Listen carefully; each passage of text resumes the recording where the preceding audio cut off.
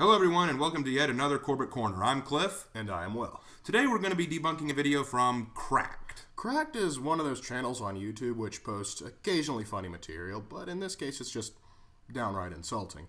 The series is called Hilarious Helmet History. It's a show that tackles common historical misconceptions and then tries to re educate its viewers on the truth of history. It's a lot like Adam Ruins Everything, which we've talked about twice now, except where Adam's information is usually rather accurate but sometimes insulting in delivery. This guy is not only insulting in delivery, but he's also incredibly biased. Most of his facts are clearly coming from personal opinion and misinformation being proposed as truth. But hey, don't take our word for it. Let's dive into the video.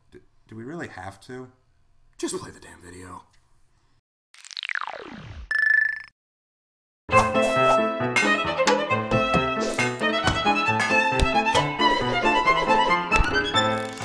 You know, I don't think all of those were helmets.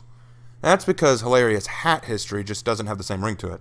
Ah, very true. You win this round, Cracked. Don't get used to it.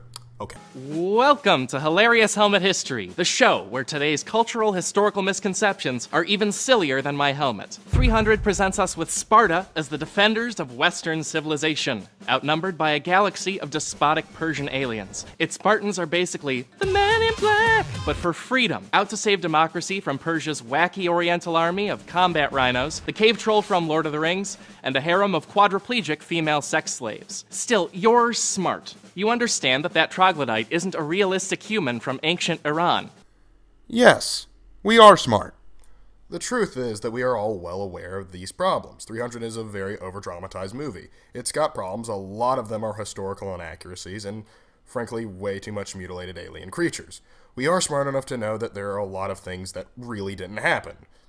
But you see, we're also smart enough to know that these aren't your real problems.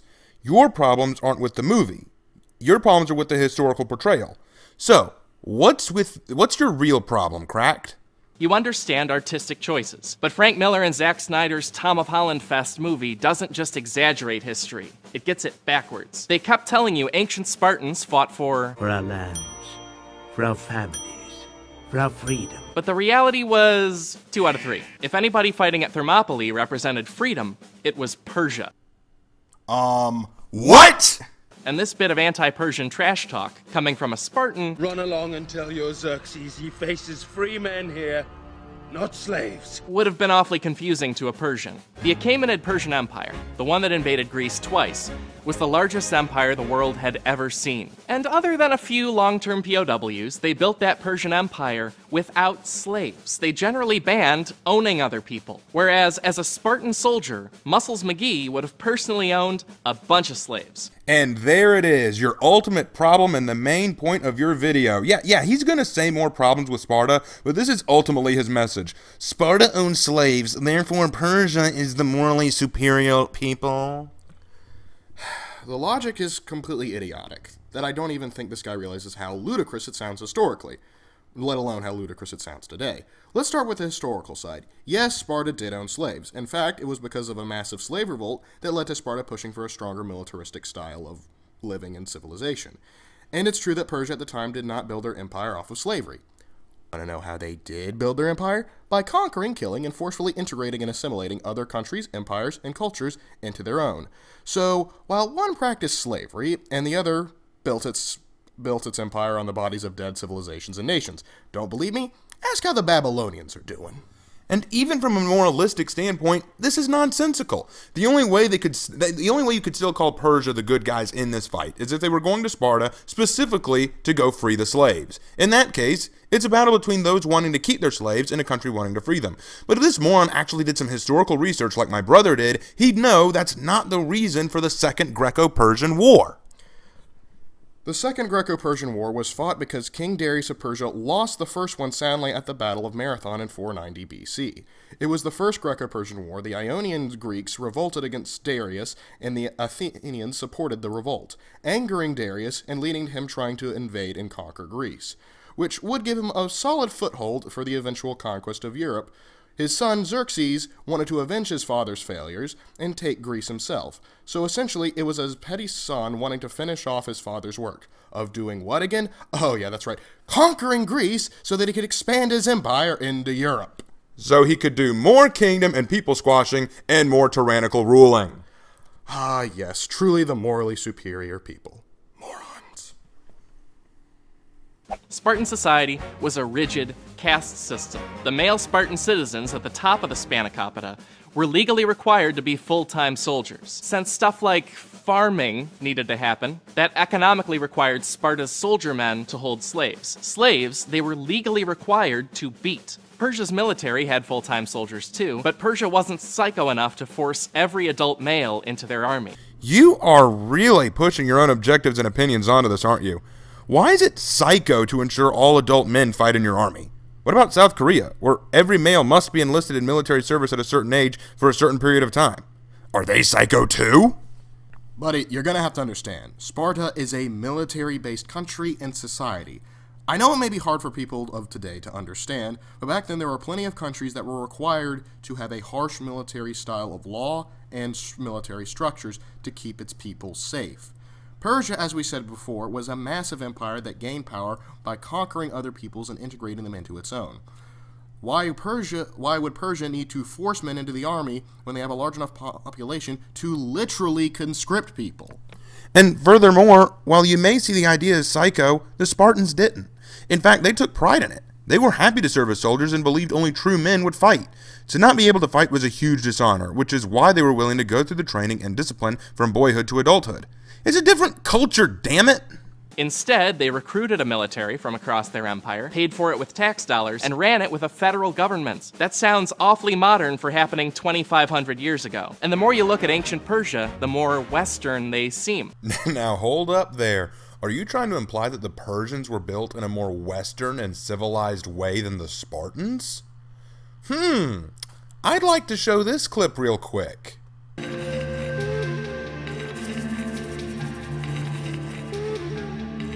The pursuit of perfection made Sparta a strange place, where money was outlawed, equality was enforced, and weak children were exterminated.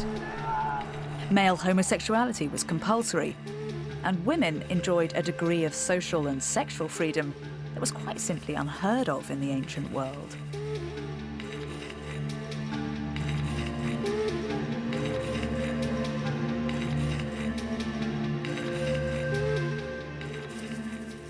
Its history is one of ruthless militarism, slavery on a massive scale, and a system that can sometimes seem like a premonition of modern day totalitarian regimes.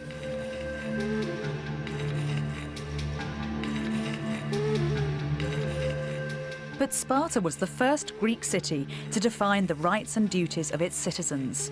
And it can also claim, alongside Athens, to have saved the Western world from enslavement by the Persian Empire. Although Spartan hardline ideals don't have the charisma of Athenian culture, they've meant as much to Western civilization as the ideals represented by the Parthenon. So, in a sense, the story of the Spartans is the story of ourselves and how some of the ideas that have moulded Western civilization were first tried out in a warrior state on the Greek mainland over two and a half thousand years ago. But after all, what do we know? And what what does that video know? I mean, they're just an actual historical documentary, and you're just a very unfunny, cracked individual. Their empire's founder, Cyrus II, was a multiculturalist.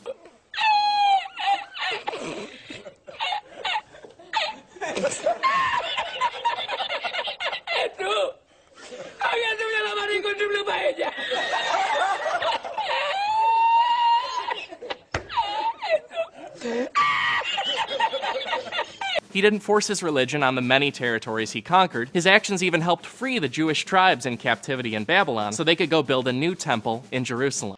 Nope, no religions are forced in Persia. Just the government, the laws, the punishments, the economics, the traditions, and the culture. But come on, what's that got to do with anything? All right. Most successful empires know that it's easier to maintain control of large areas of controlled peoples by giving them a little bit of freedom to live their own way while still paying homage, aka taxes, to the empire. Genghis Khan knew this. The Romans, for the most part, knew this, and the Persians knew this. But that doesn't change the fact that while Cyrus might have been a decent enough guy, it isn't Cyrus we're talking about. Uh, it was Darius and Xerxes who invaded Greece. The same Xerxes that was perfectly okay with killing all the Jews in his kingdom because of what one advisor said. Yeah, they probably don't like you very much. And let's not forget how other cultures felt about Persia, like the country of Egypt, which was so happy to be liberated from Persia by Alexander the Great that they named him Pharaoh. That tolerance was revolutionary for its time because Persia's imperial predecessors, the Assyrians and the Chaldeans, tended to rule that region by skinning and impaling people. Meanwhile, in Persia, they are practicing crucifixions. And according to some historical accounts, they practice scaphism, which is where you tie up victims inside of a boat, cover them with honey and nectar, and let them get eaten alive by vermin. Ah, again, revolutionary tolerance and truly civilized people we're dealing with here. I think I speak for everyone when I say, ew!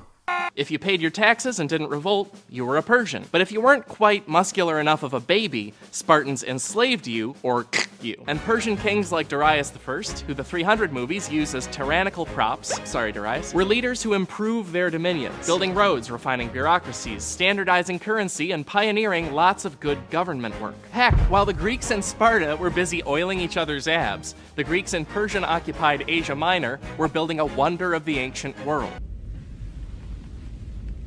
Yes, you are correct. They built one wonder of the ancient world. Want to know how many the Greeks built? The statue of Zeus at Olympia, the Temple of Artemis, the Colossus of Rhodes, and if you really want to count it, the Lighthouse of Alexandria, which was a country that was previously owned by Alexander the Great, and then his uh, became a successor kingdom after Alexander's death. So, but even if you don't want to count it, that's still three to one. So congratulations, Persia. You built a wonder of the ancient world Greece built at least three. Goes to show how uneducated you are if you think the Spartans bathed their abs in oil to look sexy in some stupid macho way. In truth, the Spartans did bathe their abs and chest in oil, but that was for burial purposes. It was what they did before battle in case they knew they would die. But the movie is clearly fabricating the sexiness for audience approval. Spartans had chest protection. And I do love how he brings up King Darius as a man who wants to improve his empire by building roads and standardized currency and doing good government works. What is good government works, by the way? Well, he doesn't know. See, that's the beauty of being vague and unclear. It can mean whatever he wants it to mean. But how about we get specific with him for a second? King Darius was a great ruler. By implementing the language of Aramaic, building better roads, and dividing up his empire into segments to better manage it, the guy was a good leader in many ways. But the reason he went to war with Greeks was because he wanted revenge for the Greeks supporting a revolt in his kingdom, and because he saw it as an opportunity to begin expanding his empire into Europe. And while Darius might not have necessarily been a tyrant, he wasn't exactly loved by all of his people. He had to contend with at least two revolts, and it was the revolt in Egypt that kept him from starting up the Second Greco Persian War earlier. But all that aside, good leader or not, it doesn't change the fact that from the point of view of the Greeks, Darius was an invading force seeking to conquer them, making him their enemy, and thus, in the context of 300, the, the bad, bad guy. guy. And don't worry, I've seen the sequel to 300, because I use my time well. No shit. I know it argues creepy, crazy Sparta still saved Western civilization, because they fought for... A free Greece an Athenian experiment called democracy. Of course, Athens was a democracy where voting was limited to adult male landowners and where Socrates was sentenced to death for thought crimes. But no, this guy's committing the number one sin of historians. Don't judge the past based on the standards of the present. Yes, Athenian voting systems were built on wealthy male landowners. Tell me, dumbass from Cracked, who did the voting in Persia? Was it the wealthy female landowners, or was it the. Oh, wait, that's right. No one voted. It was an empire built on hereditary rulers. So, no democracy. But I guess to this guy, a fledgling democracy is worse than no democracy at all. Yeah, Athens was democratic. Some Athenians could vote on everything from major laws to who served as their generals. But the Spartans didn't save Athenian democracy. They actively kicked the crap out of it. And not just because. What the heck are you showing up there? That's not a picture of the Peloponnesian Wars. That's not even freaking close. That's a picture of, of a Byzantine ship using Greek fire. And Greek fire, the first account we have of that, is in the is in the 400 AD. Persian victory at Thermopylae let the Persians burn Athens down. Three years after Thermopylae, Sparta gave up on fighting the Persians. Athens had to carry on without their help. Since Athens was just one city, they formed an epic alliance with the rest of Greece, and it pushed the Persians back. But then Sparta got jealous of Athens' new importance, so Sparta started decades of brutal wars against Athens. And when Sparta started losing to Athens in what's called the Corinthian War, they You know, I know, I got it. I got the concept. See, Spartans did drop out of the war. But Sparta wasn't 100% behind backing the war either, because the main target was Athens. King Leonidas could only scrap together 300 soldiers to fight with him. But the Corinthian War, or the Peloponnesian Wars, you're talking about was almost 40 years after the end of the Second Greco Persian War. At this point, allegiances of the leaders have changed. That's called the March of Time. We fought Britain for independence. We're allies now. We fought Japan in World War II. We're allies now. We worked with the Soviet Union in World War II. We were rivals literally after the war ended. See, times change and people change. figured out the perfect way to turn the tide against those darned Athenian Democrats, which was to team up on Athens with Persia, which means those guys' descendants were allies. And they crushed Athens. Athens never recovered, and Sparta let Persia manipulate Greek politics to serve Persian interests for years to come. Yeah, but as we just said, times change. Xerxes was not in power when this happened, and he wasn't interested in destroying all of Greece or what it stood for. See, the difference is that Sparta, in the Greco Persian War, was holding out against an invading force that had no business in Greek lands. Now Sparta was inviting them to help them fight Athens. So it's not that he's a liar, it's just that he's incompetent. Yep. But Alex, you say, how did we get Western civilization if Athens got squished? Well, uh, a lot of factors. In the following years, after the Second Greco Persian War, Athens grew rapidly in power. The only other city state to rival it was Sparta. Athens was the head of the Ionian League, and it controlled over half of Greece with the Ionian League. This caused two sides to butt heads. But before Sparta and its Greek city states allies, along with its Persian allies, beat the Athenians, the Athenian philosophy and ideals spread throughout the Greek world because of the Greek wars. Well, not all city states adopted these ideals, they lasted in Greek culture despite Athens being defeated. True, Athens never recovered to the same status it had before, but they never faded away until the Macedonians arrived, which is what I think he's going to say. That better be what he's going to say next. It's not what he's going to say next, is it? But one of the biggest factors was good Persian governance that strengthened Macedonia, a backwater territory north of Greece. Macedonia thrived while Sparta and Athens headbutted, but that backfired for Persia because a thriving Macedonia rose up and conquered the entire Persian Empire, plus Greece and a little of India, thanks to Alexander the Great. Since Persian systems were the most effective government Alexander knew of, he copy and pasted them across his even larger empire. And now you're actually lying to us. Alexander the Great had the biggest hard on for Greece and Greek culture, and it simply couldn't be contained. He spread Greek policies, Greek ideals, Greek government, and Greek art all over the areas he conquered, turning them into new Greek owned city states. He was famous for spreading Hellenistic culture in the Persian Empire and wherever he conquered. Even today, you'll find Persian coins with Greek lettering on them. He wasn't building Persian cities and monuments wherever he went, he built Greek monuments. He might have picked up a few administrative details from the Persians, but saying that he just copy and pasted the Persian system is bullshit. After he died, his empire came apart, which cleared the Mediterranean for the Alexander imitating, culture absorbing Roman Empire.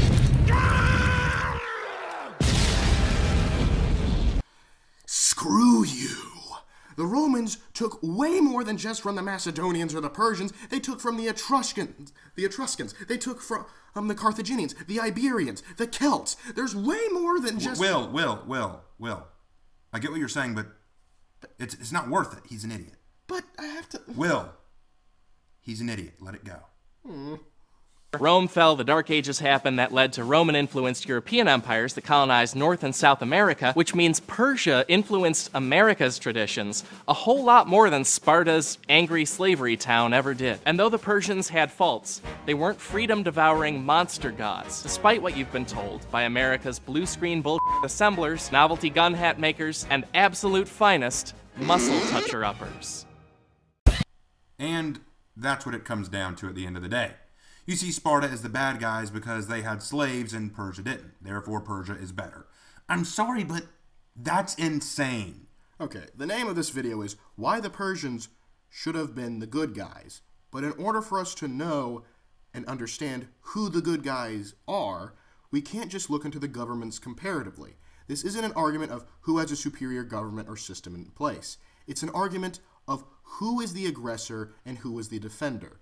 Persia instigated the conflicts against Greece, who is working to defend their home from a foreign power. This makes the Greeks the ones on the moral high ground, and the clear underdogs and the defensive party. I think we should end the video here. In conclusion, the reason he claims the Persians were right is simply because they had a strong system of government and they didn't keep slaves despite the fact that he's almost 100% wrong on all of his assertions and doesn't back his claims with any real sources. But even if we give him any leg to stand on, he stands unaware of the fact that his logic can easily be turned on him. Well, I'm Cliff. And I'm Will. This guy doesn't know anything about what we're talking about. And we'll see you next time. Possibly dealing with this guy again. Ugh.